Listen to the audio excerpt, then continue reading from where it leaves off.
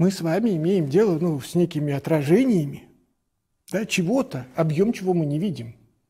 Ну, как взаимодействуете с другим человеком, вы же как бы имеете дело ну, с неким своим собственным образом, за которым стоит живой человек, в котором он что-то вам не показывает. Помните окно Джагари?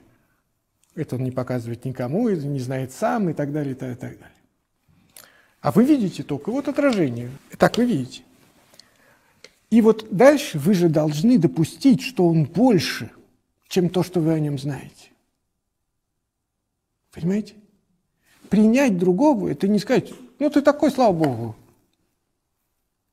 А то, что это что-то большее, чем то, что ты про него думаешь. И допустить эти в нем дополнительные измерения. И тогда у вас есть ощущение, куда вы отправляете смысл.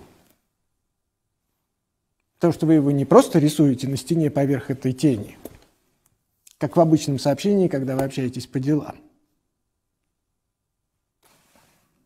А вы допускаете, что он может ваш смысл уловить, что он может на него срезонировать, что он захочет ваш смысл в себе воспроизвести и получит от этого удовольствие.